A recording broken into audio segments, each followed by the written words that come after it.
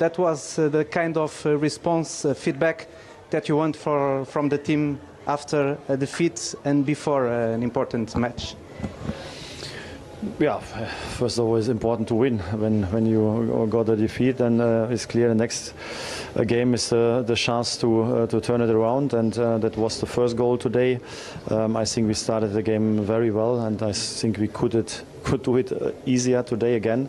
So um, it's a little bit the story of the, uh, this season that we play very well, we control and dominate the game, we create chances, and um, but we miss a little bit to to really. Um, uh, kill the game and to to create or to score more goals.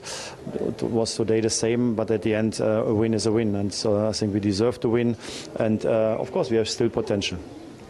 Football is fantastic. Uh, you were in front uh, by two goals, almost scored a three a nil, and in a few a few minutes you could be two two. Tell me uh, your thoughts about that uh, moment, those Yeah, moments. Yeah, I think it's something we have to improve. So I think um, if you are 2-0 up, um, I think you cannot get counter attacks against you.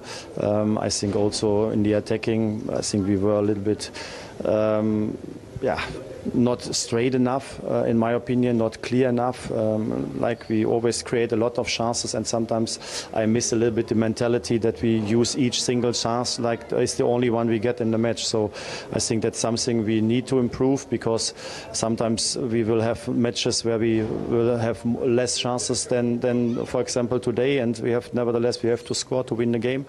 I think, um, yeah, we are doing well, so we are winning our games. Uh, we are we deserving all the all the wins, uh, but in my opinion, as a coach, I think we can do it um, more smart and more sovereign. And we saw Trubin saving a, a penalty uh, for you.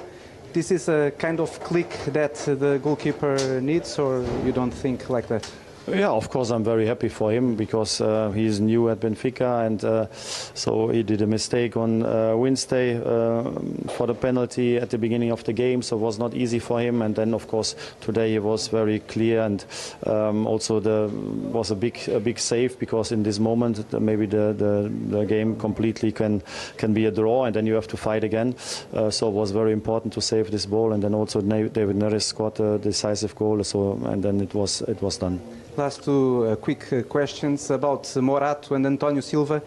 Can you explain us uh, why you decide for Felipe Morato? Yeah, because Morato did it well on Wednesday, and also we have to prepare him uh, for um, for Inter. So we have a Champions League match, and um, Morato is always very positive, very good in training, and I think today was um, wise to give him also minutes, um, and he did it very well. Um, so for Antonio uh, was today a day to to rest, um, but has nothing to do with the red card on from Wednesday.